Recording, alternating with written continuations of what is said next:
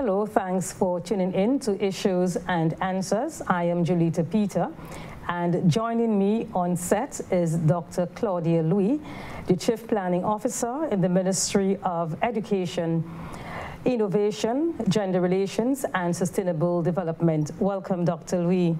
Thank you. The, the Department of Gender Affairs is facilitating a number of interviews with key sectors in St. Lucia focusing primarily on the role of those sectors in advancing efforts towards um, sustainable development in the context of climate change, and of course, the important role that gender plays in the mix. It has been noted that advancing gender equality in the context of the climate crisis and disaster risk reduction is one of the greatest global challenges of the 21st century. Um, first off, Dr. Lee, does the education sector gather disaggregated data by sex? Yes, we do, actually. We collect, very importantly, we collect enrollment data by sex. So we, we could know easily at every school the number of girls, the number of boys present. We also collect attendance data. For example, the schools submit to us monthly attendance and we compile so we can have a national picture of how students attend school based on sex as well. And we collect performance data, student performance data, starting from the minimum standards level right through common entrance and CSEC data, all of that is disaggregated by sex. So it would be easy for us to look at um, look at the data and get a picture of how our boys are doing and how our girls are doing. Not only at the student level, but we also collect from our teachers and our staff. So we collect data based on staff. We know how many male and female teachers we have present.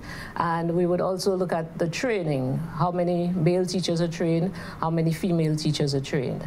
And this data we collect because, well, it informs our decision making, but it is also in keeping with some regional and international agreements that we have signed on to.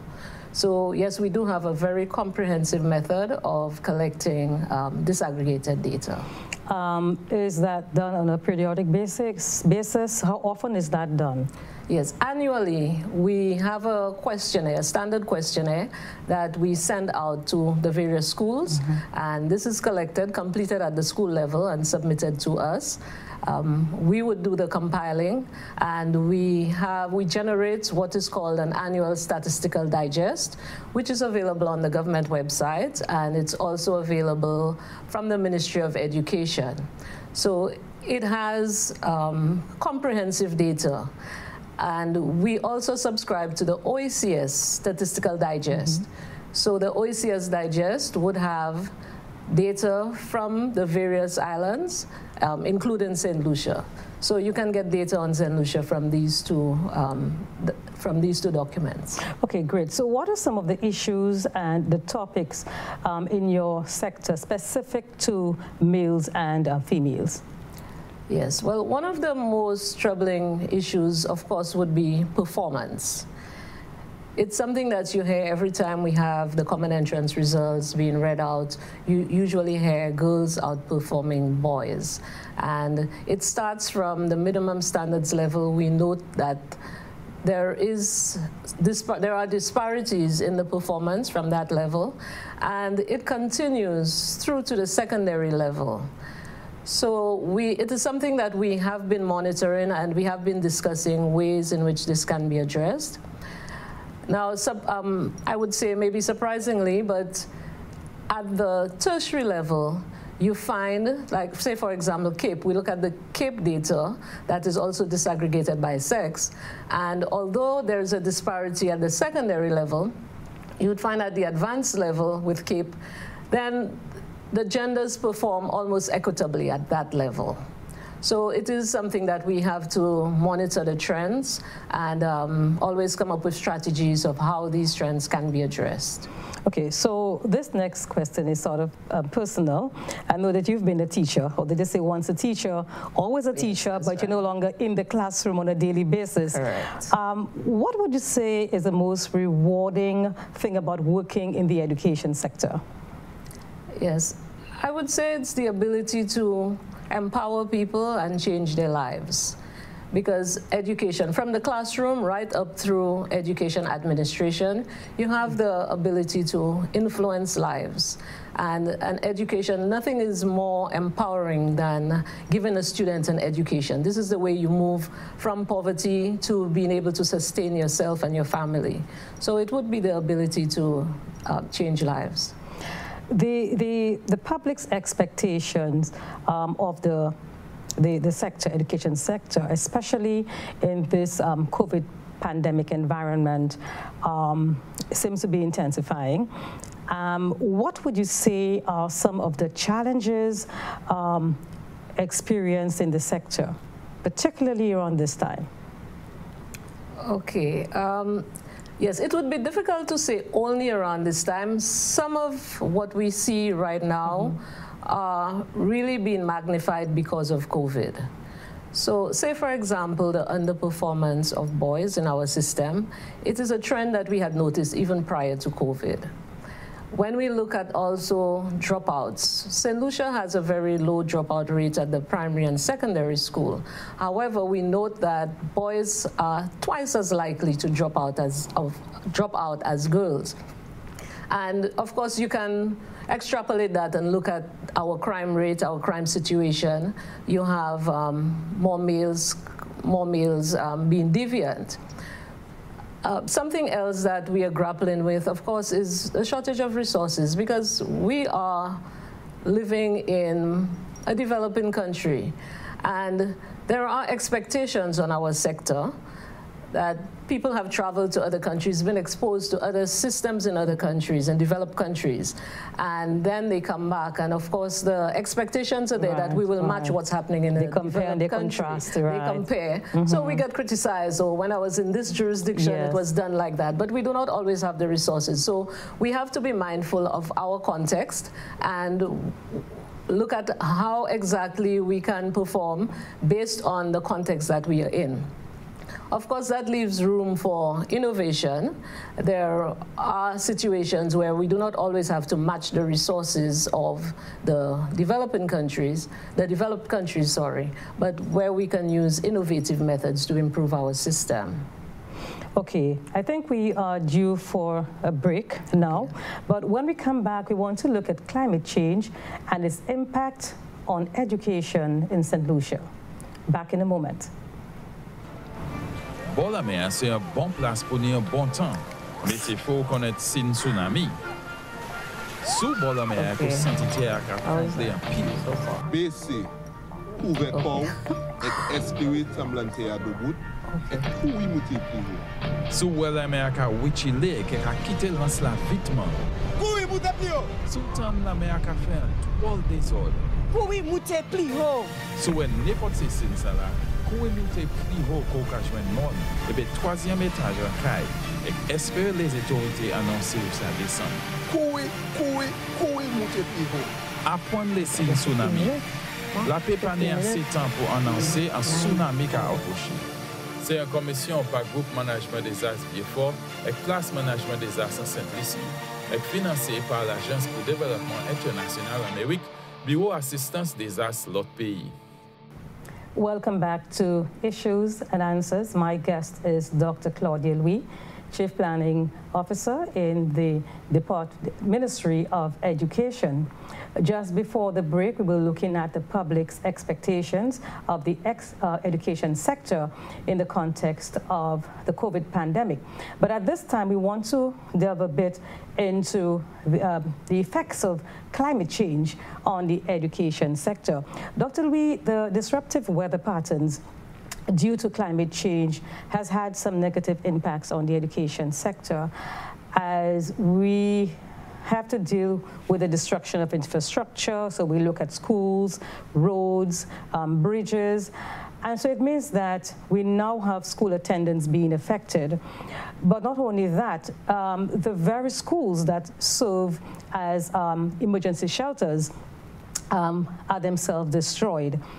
Um, what do you think is the magnitude of the impact of climate change in St. Lucia's education sector? Yes, wow. It would be difficult to just give the magnitude because it affects the sector on so many different mm-hmm. dimensions. When we look at, we have the more extreme weather patterns, and we have flooding, we have heat, droughts, hurricanes. All of these would affect the society as a whole. So yes, it affects the school infra infrastructure mm -hmm. because we have an aging infrastructure. It affects the school infrastructure. However, it also affects the people who are part of the school system. So we have students where their parents are losing their livelihood. Mm -hmm. And of course, that would have an impact on the students' ability to attend school. So you look at students who are now at-risk students and maybe dropping out because their parents are no longer earning an income. You have teachers who are also impacted and who have to be present at school. So they're looking after their families, mm -hmm. but yet still there is, you know, the, that they would have to be present at school if school is to start running. And of course, we look at learning loss where schools are being used as hurricane shelters. And if people are not able to move out of the shelters quickly enough, because one of the things in restoring normalcy is to have children back in school as soon as possible. Sure. So if you have a situation where there is damage in the community and the, the people are not able to return to their homes, then that of course impacts school. Looking at the COVID pandemic, there are some things that we adopted during the pandemic that maybe we can look at um, in terms of what happens after a disaster. Mm -hmm. Say, for example, we had the academic recovery program, which was run during the summer for some students who were felt were at risk and there was learning loss. So I think in the future, we have to look at adopting some of these measures. We also have, well, training for teachers, professional development during the summer that we have instituted over the past few years. So we would have to definitely look at uh, using the summer period for, not for everybody, but for situations where we feel it is needed. When we look at the infrastructure as well, we have to look at addressing some of the issues, the long-standing issues we have with our aging school infrastructure so that they are more resilient mm -hmm. to some of the impacts of climate change. Mm -hmm. So um, I guess you may want to tell us briefly um, how does the sector um, respond to the impacts of climate change? I know we, in the past we've had to deal with um, some weather patterns. Um, how was the, the, the sector able to, to bounce back um, so quickly? What are some of the, the experiences, what has some of the experiences taught you uh, as a sector? Okay, yes, well, we, number one, we have to look at the human aspect and then we have to look at the infrastructure aspect. Looking at the human aspect, if we looked at COVID, for example, we were able to, when students came back into school, even when you had just the grades. So for example, in COVID, we noticed that we could bring back some students, even if everybody was not able to go in, but we bring back the critical grades. In this case, we brought back the grade six students and the form five students. So that was a staggered opening. And later on, we brought the rest of the school. So we, this is one thing that we can look at after a disaster mm -hmm. if we're not able to bring back everybody. And of course, support for the students. Normally, we have a transportation subsidy program where we provide transportation to at-risk students at secondary schools. Um, after COVID, we extended that service to include some primary schools because we noted that uh, this was not, it was not normal times. So in cases of emergency, we can make certain adjustments to deal with the situation that we have on ground. We, of course, when you look at the school infrastructure as well, we look at future planning. What do we do with the school infrastructure to ensure that we can continue? So we look at, um, for example, we look at solar, we look at water, um, rainwater harvesting, we look at energy efficiency, just to ensure that our school buildings are more resilient. So what is safe to say that, um, I mean, I know every disaster comes with its own peculiarity, um, but I'm sure some of what, for example, the sector um, has had to do during the pandemic and even previous disasters um, were sort of, um, uh, would I say, they were lessons learned. So right now you could have gone back to what you did for, the, for dealing with the COVID pandemic. You could have gone back to some of what you did um, uh, during these um, natural disasters and see how best we can, we can um, apply those, some of those experiences, those, those practices, and of course to see how we can best deal with what we are going through now. Yeah, so we have to always learn from le learn lessons from whatever experiences that we have. One important thing, of course, is the documentation and sharing of information. Um, something else that we know, the engagement of all our partners to bring on board, it's not just um, a matter of centralized decision making. So collaboration is important. Yes, a, collab a collaboration with our various partners. Um, even our students, now, right now, we have recognized the importance of the student voice so we have schools for students, but what are the students thinking? What are they feeling at this particular point? It's not only the adults. So really engaging our partners and working on our strategic plan, we have, for example, a continuity of education plan. We have to review, always have to come back to review mm -hmm. and to see how best it can be improved. Okay, so we are due for another break, Dr. Lee, but when we come back, um, we want to look at this year's International Women's Day theme, uh, which is Gender Equality Today for Sustainable Tomorrow, um, looking at specifically what can be done within the education sector to respond to the needs of both males and females. We are back, we are due for a break. When we come back, we will be speaking again with Dr. Lee. The world's climate is changing, and that affects all of us.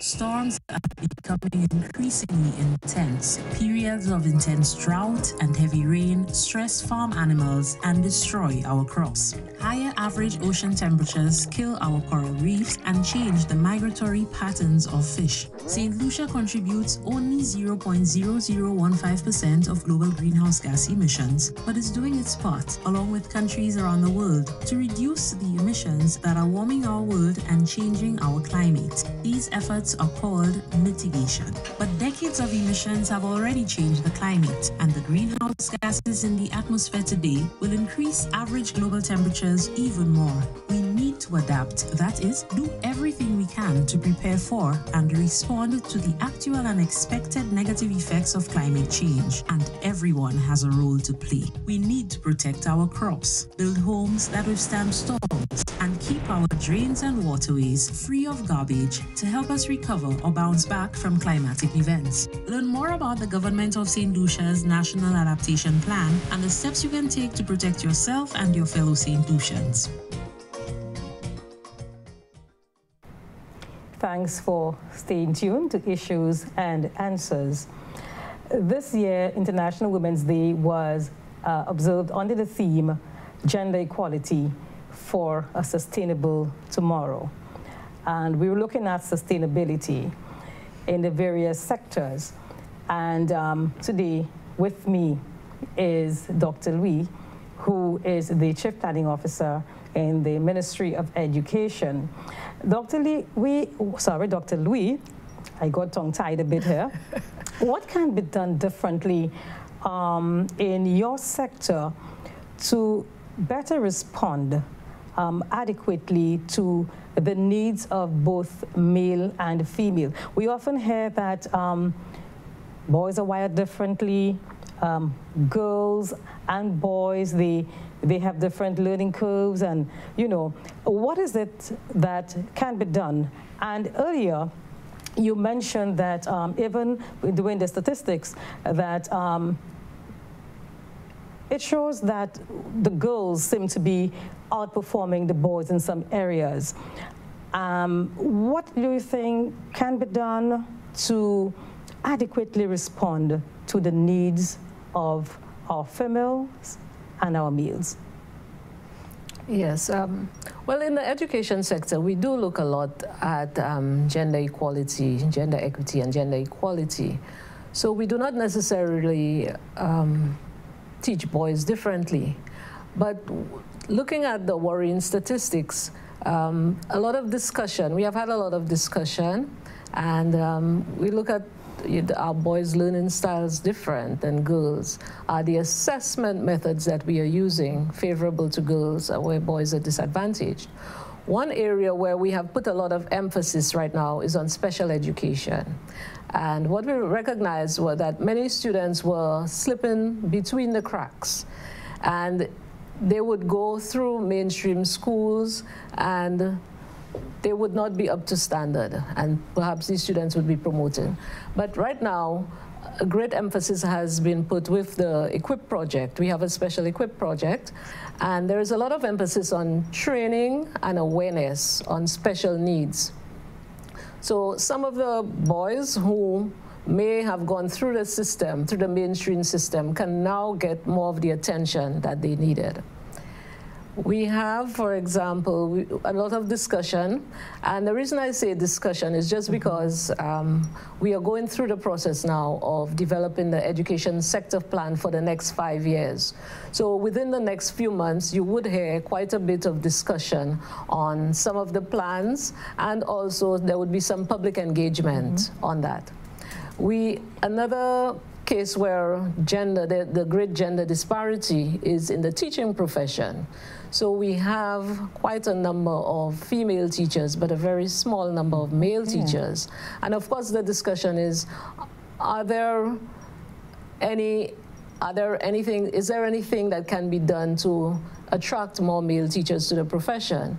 because boys do not have the role models. In many cases, we have single-headed households, and you find that boys may not have the male role models in their homes, and they would look to the male teachers. So it would be a good thing if we have more male teachers in the system. So these are some of the issues that are being discussed, and during the I would say during the consultations for our education sector plan, these would be brought to the fore and we would be taking opinions from members of the public, from our partners, from students, student councils, from parents, from teachers, in jointly developing some strategies to address these problems. Because I was thinking the same thing. Why is it we have more female teachers than male? Is it because um, of the nurturing um, tendencies inherent in our females? What is it that is keeping? Perhaps it would be good to um, start your research or investigation from that standpoint. Why? What is keeping the men away? Is exactly. it um,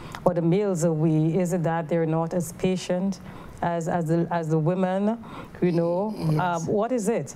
Why we have, mm -hmm. Yes, from international studies, we do have some ideas, but I would say we have not done, recently there has not been any um, local research on mm -hmm. this. Mm-hmm. So this is one of the areas that we are encouraging. We have many students going abroad to study, and they're also looking for education topics. So these are one of the areas we are encouraging many um, many people to do research in looking at the gender disparities, both in teaching and in performance. But we do have some indications from international and regional research as to what some of the reasons are.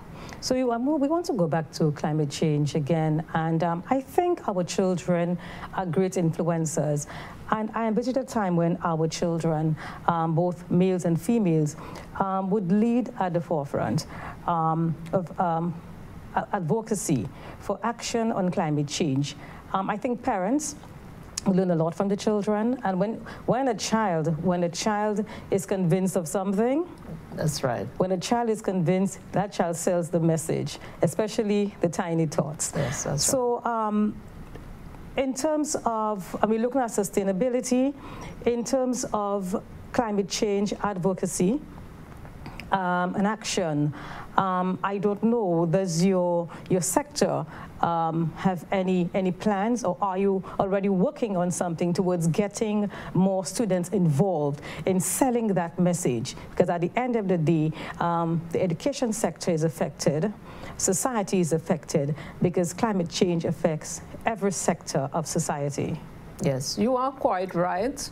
Um, as you spoke of that, I can still recall lessons that I learned in primary school mm -hmm. um, concerning deforestation and concerning saving our parrots. Yes. So I think we can all recall that. So yes, we have recognized the importance of having it in our curriculum, um, lessons on climate change. We have right now many um, different international agencies have organized, for example, uh, different activities around climate change. But as we go into, we are going through a period of um, curriculum review from different levels at the OECS level. And this is one of the areas we would definitely want to see um, greater emphasis paid on going forward. So as we wrap up, I understand that we have just um, about two minutes left. Um, the Sustainable Development Goals number four focuses on education. And the aim is really to push equitability and inclusiveness. So as we wrap up this interview, your thoughts? Yes.